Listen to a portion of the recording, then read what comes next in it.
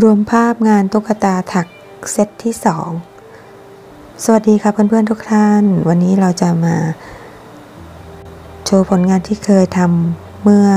10 ปีที่ผ่านมาแล้วนะคะ แต่ตอนนี้ไม่ได้ทำแล้วนะคะ เพื่อนๆคนไหนที่สนใจแบบไหน อยากให้ทำทำสอนก็สามารถโพสลงได้นะคะ เดี๋ยวเราจะลองดูอีกทีหนึ่งนะคะ ว่าทำได้ไหมนะคะ อุปกรณ์ยังครบไหมนะคะ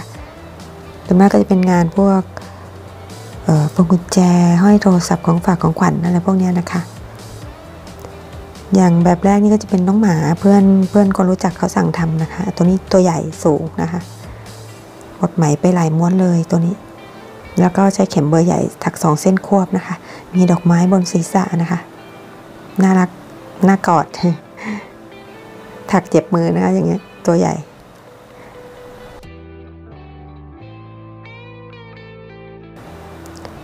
ตัวนี้เราเราตั้งใจว่าเราจะทำไซบีเรียน เราไปดูภาพในอินเทอร์เน็ต ดูภาพน้องหมาตัวจริงมาแล้วเราก็ลองผสมสีผสมอะไรเข้าไป ถักๆดู แต่เก็บไว้เองตัวนี้ไม่ได้ทำขายนะคะ ทุกวันนี้ก็ยังอยู่เก็บใส่ถุงไว้อย่างดี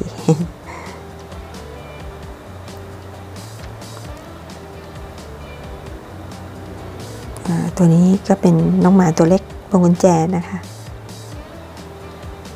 ตัวนี้จะเป็นคล้ายๆพุดเดิ้ลมั้งจะเป็นหูฟูๆหน่อยนะคะ ตัวนี้ก็ขายดีนะคะ เป็นตัวเล็กๆ ไม่ใหญ่มาก ประมาณ 3 นิ้วนะคะ ด้านหลัง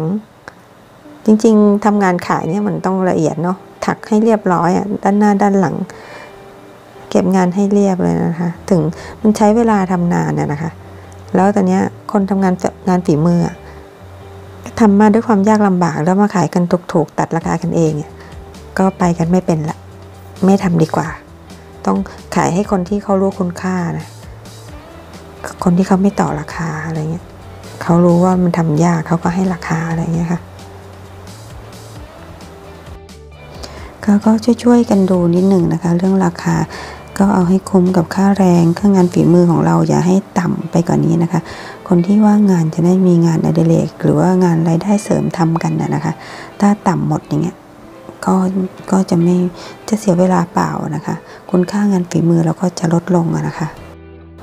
ค่ะก็ขอขอบคุณเพื่อนๆทุกท่านนะคะ ที่เข้ามาให้กำลังใจนะคะ ไว้พบกันใหม่คลิปหน้านะคะ ขอบคุณมากค่ะ สวัสดีค่ะ